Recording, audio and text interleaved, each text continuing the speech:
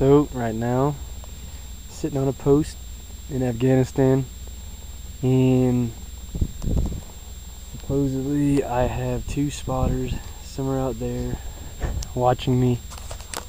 So, this is me saying hello to them. Fuck you. but yeah. So yeah, this is Afghanistan. It's pretty gay. I don't know we'll see how it goes. I got a, I got about you know just about seven more months left, almost six. Alrighty, later. One more time.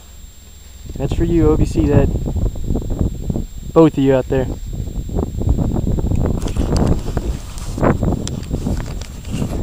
Sorry, mom.